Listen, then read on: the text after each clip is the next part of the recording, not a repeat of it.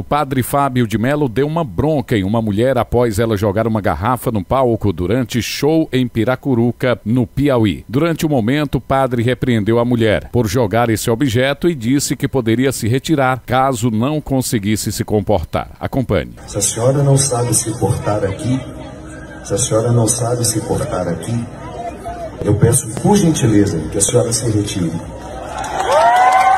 Em respeito a mim, em respeito às pessoas que saíram de casa, que viajaram muito para estar aqui. Nós estamos num momento de oração e a senhora me joga um objeto. A senhora me joga um objeto no momento de oração. Perdoe, minha gente. Perdoe-me.